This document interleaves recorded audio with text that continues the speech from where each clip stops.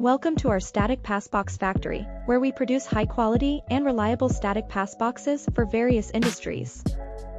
Static passboxes are simple boxes that are mounted between two areas of different or equal cleanliness levels. They are used to transfer materials without compromising the sterility and hygiene of the clean rooms. They have two doors with electromagnetic interlocking system and LED indicators to prevent both doors from opening at the same time. They also have UV lights and fluorescent lamps to disinfect the materials and the interior of the box. Our static pass boxes are made of stainless steel with powder coating for durability and corrosion resistance. They are designed according to GMP guidelines and are easy to clean and maintain.